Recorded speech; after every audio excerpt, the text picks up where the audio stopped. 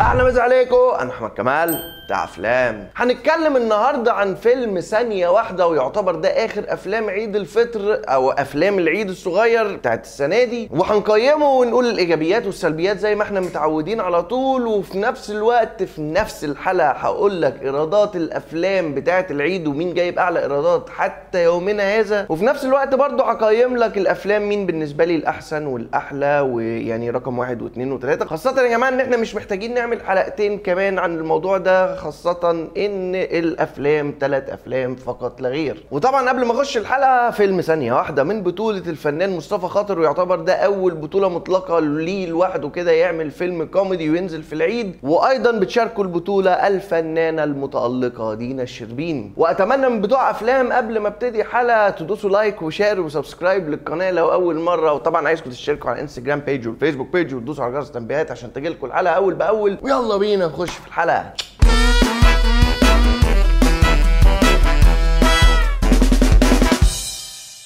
فيلم ثانية واحدة يا جماعة من الأفلام اللي الواحد اتفرج عليها في العيد وطبعا زي ما أنتوا شفتوا ال trailer بتاع الفيلم أو إحنا عملنا trailer reaction قبل كده. لو عايز تعرف معلومات عن الفيلم أكتر وأكتر كمين المخرج ومين المؤلف ومين الأبطال المشاركين وكل الكلام ده خش على الحلقة. بعد ما شفنا ال trailer فهمنا ال plot اية بتاعت الفيلم اللي هي عبارة إن هو واحد كان بني آدم طبيعي عمل حادثة وبعديها رجع تاني طفل صغير أو زي ما إحنا شفنا كده في الإعلان. إيجابيات الفيلم بالنسبة لي ومن وجهة نظري كأول اول بطوله مطلقه لمصطفى خاطر فهو فيلم مقبول جدا. مقبول كفكرة إنك أنت لو فكرت وشفت نجوم كتيرة جدا. دلوقتي على الساحة نجوم كوميديا. أول أفلام ليهم ممكن تلاقيهم مش حلوين قوي أو عمرها ما بتبقى عظيمة زي باقي الأعمال اللي هيعملوها فيما بعد. كأول تجربة أو كأول فيلم البطوله مطلقة ليه أنا انبسطت بالفيلم وضحكت فيه. وده المطلوب من فيلم كوميدي في العيد إن أنا على الأقل واجب أكون خارج من الفيلم ما أقولش أنا يعني إزاي ضيعت وقتي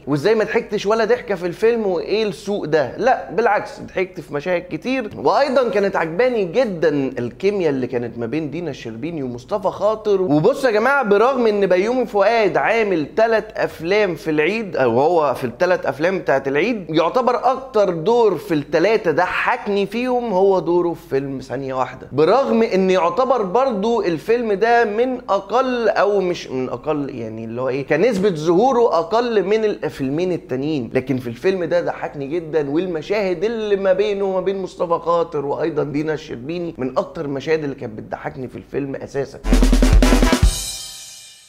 أما نخش على السلبيات على طول بالنسبة لي ومن وجهة نظري لا يوجد أي إضافة لأي فنان عمل ضيف شرف في الفيلم ودي وجهة نظر شخصية تاني. يعني أنا مثلا من أول ما شفت الإعلان وعرفت ال cast إن في من ضمنهم الفنان فتحي عبد الوهاب وكنت متخيل آه ممكن يطلع مشهد أو مشهدين. يعني ما حسيتش إن ده المشهد الإضافة الكبيرة لفتحي عبد الوهاب أو ما حسيتش إن فتحي عبد الوهاب عمل إضافة قوية أو ضحكت أو ابتسمت من دوره اللي كان عامله في الفيلم. برغم إن هو المفروض دور كوميدي وهو بيضحكني جدا في المشاهد الكوميدي أو في الأفلام الكوميدي اللي هو بيعملها مثلا فيلم ثقافي طبعا وأفلام تانية كتيرة بس في الفيلم ده أنا ما ضحكنيش ما, ما حسيتش بإضافة. نفس الكلام برضو عن الفنان أحمد الفيشاوي اللي أنتوا شفتوا في الإعلان المشهد اللي هو طلع والكلمتين اللي هو قالهم لمصطفى خاطر هو غالبا ما طلعش أكتر من كده أو هو المشهد ده الوحيد اللي عمله في الفيلم. برضو ما حسيتش بأي إضافة وبرضو ما ضحكتش في المشاهد اللي طلع فيها وحسيتها كده اللي هو بصوا يا جماعة ضيوف شرف فقط لا غير. وفي نفس الكلام زي ما قلت لكم في الحلقة الأولانية بتاعت أفلام العيد بتاعت فيلم أحمد نوتردام قلت لكم إن لازم عندنا في الأفلام الكوميدية المصرية لازم يجب علينا أن يكون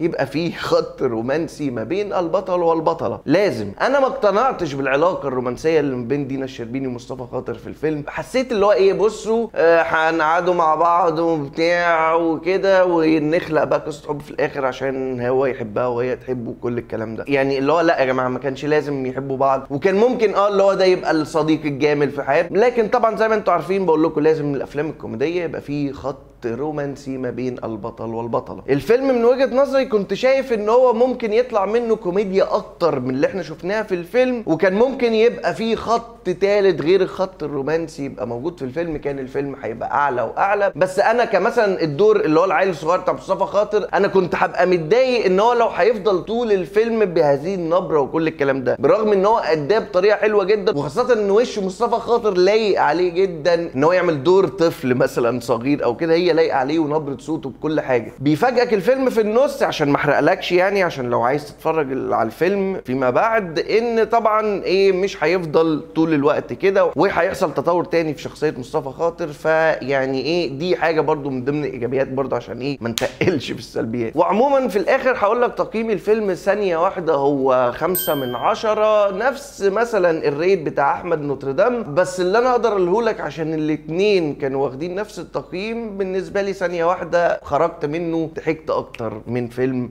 رامز جلال أحمد نوتردام. أما على الإيرادات انت تتوقع إيه بقى يا معلم كإيرادات أفلام عيد الفطر؟ قول لي بقى. يعني يعني متوقع يعني بعد رمضان على طول مين هيبقى رقم واحد في الإيرادات؟ أكيد وبالتأكيد الفنان رامز جلال واللي هو على طول بينتهز هذه الفرصة اللي أتمنى بجد بجد يعني دي كلمة من كل قلبي ملهاش دعوة بأي حاجة من اللي إحنا بنتكلم عليه. أتمنى إن رامز جلال يغير في تيمة الأفلام بتاعته عشان فعلا الواحد نفسه يشوف أفلام رامز جلال بتضحك جامد بطريقة مختلفة. يعني دي حاجة نبقى نتكلم عليها ممكن في حلقة تانية. إيرادات فيلم أحمد نوتردام لغاية دلوقتي هي 10 مليون و814 ألف جنيه. وفي المركز الثاني فيلم ديدو الكريم فهمي وطبعا زي ما أنتم شفتوا في البوستر وشايفين في البوستر كده بقى يومي فؤاد ومحمد ثروت وحمدي مرغني وهدى مفتي. الفيلم حقق 7 مليون و348 بص الدقة 348 ألف جنيه حتى يومنا هذا. وطبعا في المركز الثالث فيلم ثانية واحدة وبعيد جدا عن الإيرادات عن الفيلمين اللي فوقيهم ومحقق حتى يومنا هذا مليون و526 ألف جنيه. وطبعا برضه بتوع أفلام على حسب الحلقة دي هتنزل إمتى أنا بكلمك على الإيرادات بتاعت يومنا هذا أو اليوم اللي أنا واقف فيه أو مصور فيه الحلقة. ممكن طبعا الإيرادات تعلى مليون أو اتنين في خلال اليومين دول. أما كأحمد كمال كترتيب إيه أقوى أفلام العيد أو بالترتيب فيلم ديدو لكريم فهمي عشان طبعا كان واخد أعلى تقييم. من أكتر الأفلام في الثلاث أفلام دي اللي هرجع فيما بعد أبقى أتفرج عليها أو لو جه في التلفزيون هبقى أتفرج عليه أو ايا كان. وفي نفس الوقت الفيلم كان فيه graphics حلوة وضحكت كتير جدا وما حسيتش بأي لحظات ملل في الفيلم الصراحة. وفي المركز الثاني فيلم ثانية واحدة لبطولة مصطفى خاطر ودينا الشربيني وفي المركز الثالث فيلم أحمد نوتردام اللي في ناس كتير هتقول لي أنت كارهه قوي ليه كده؟ أنا مش كارهه والله يا جماعة. بس أنا كنت متوقع فيلم أقوى وأقوى لرامز أو من ضمن الأفلام اللي أنا بحبها وبلجأ ليها لرامز فيما بعد زي غش الزوجية كضحك مثلا. وفي الأول وفي الآخر يا بتوع أفلام يعني لغاية دلوقتي الواحد ما حسش بموسم عيد قوي وزي عيد ال... أنتوا فاكرين يا جماعة عيد الفطر 2019 قبل الكورونا كان نازل الممر وفيلم محمد سعد وفيلم رامز جلال وكان في بعديها بشهرين أو بشهر الفيل الازرق الجزء الثاني بعديها أولاد رزق الجزء الثاني فإحنا ننتظر وده اللي أنا متوقعه عشان في سينمات كتيرة جدا اتعرض الإعلان قبل الفيلم البعض لا يذهب للمأذون مرتين. فأعتقد إن في أفلام كتيرة تقيلة هتنزل من عيار الثقيل للنجوم. ال mega stars اللي بيحققوا إيرادات عالية جدا في خلال الفترة اللي جاية. يعني ما تستبعدش تماما على آخر شهر ستة مثلا يبقى فيلم البعض لا يذهب للمأذون قبل أسبوعين مثلا أو أسبوع من العيد الكبير زي ما عمل قبل كده كريم عبد العزيز فيلم الفيل الازرق اتنين. وهنشوف برضو أعتقد أفلام لأحمد عز وأحمد السقا. وأتمنى بقى النجوم دي ترجع تاني للسينما ونتفرج على الأفلام اللي إحنا بنحبها ومتعودين عليها اللي هي الأفلام الكتير جدا بتنزل في العيد وكده. وفي الآخر يا بتوع أفلام سؤالي ليكوا وسؤال الحلقة إيه أكتر فيلم من الأفلام الثلاثه دول دخلتهم أو عجبوك في أفلام العيد يعني بالترتيب؟ سيب لي تحت ترتيبك. وإيه أكتر فيلم متوقع إن هو هيجيب إيرادات في الفترة اللي جاية عالية وشايف إن الإيرادات العالية جدا. يعني مثلا فيلم كريم عبد العزيز اللي جاي هيجيب مثلا نفس الإيرادات بتاعت نادي الرجال السري 70 60 مليون وهنوصل للارقام دي تاني. ولا واحدة واحدة لسه مثلا نقول على السنة الجاية السنة اللي بعديها حاجة زي كده. سيبوا لي رأيكم تحت في الكومنتات دي. أهم حاجة وهرد عليكم زي ما إحنا متعودين على طول.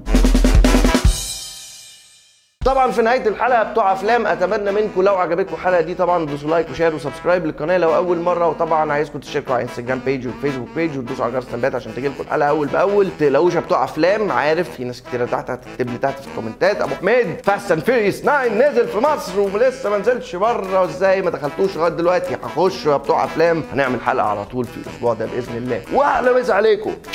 بما ان يا جماعة افلام العيد الفطر يعني كده برانتوس لا بلا بليبو فريش الله ينور عليك ده انت امور بقى بس بقول لكم إيه بقى في حركه اطلبها منك جميله نزل الباب ده عشان المكيف والحركه فيلم ثانية واحدة أقول عليه إيه يعني يعني اتكلم أقول إيه يعني يا عم اتكلم عدل إيه تي تي تي تي تي تي تي تي تي تي وده المفروض اللي أنا يعني إيه أخده من الفيلم يعني.